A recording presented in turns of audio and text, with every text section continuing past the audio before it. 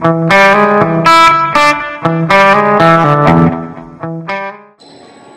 we've been getting a lot of uh, prints lately for parts that have datums that are in varied places. From a machinist standpoint, basically using a conventional mill or a conversational mill, what are some of the things that you look for that make it more cost effective to make the part?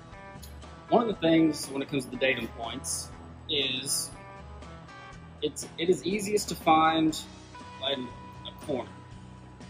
Some of the prints that we have been getting are dimensioned off the center center point of this radius, which is out in the middle of nowhere.